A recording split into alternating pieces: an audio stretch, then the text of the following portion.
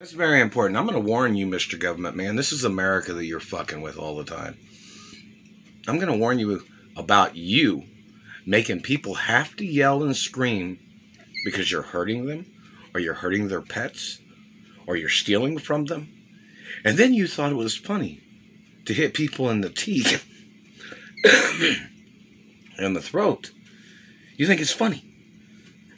You've hurt people's pets, you've hurt people's families, you've hurt people's bodies, you've hurt their teeth and face, and then forced them to have to yell because you seem to not listen that you are trespassing on my life and my anatomy. I need to see you in court.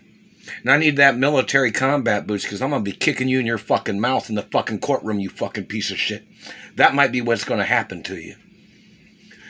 I'm going to warn you again. You are a racist. You might be the black racist. You might be the, uh, the other racist or whatever race you are.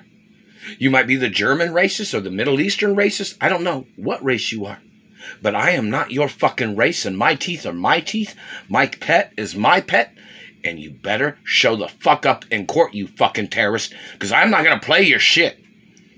You are violating my life, you're violating my anatomy, and you have done this shit to try to force me to have to yell about your violations that you are doing every motherfucking day.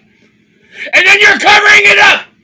And you're hitting me in the mouth and teeth because you don't like to hear me mention your violations of you violating my life and my rights.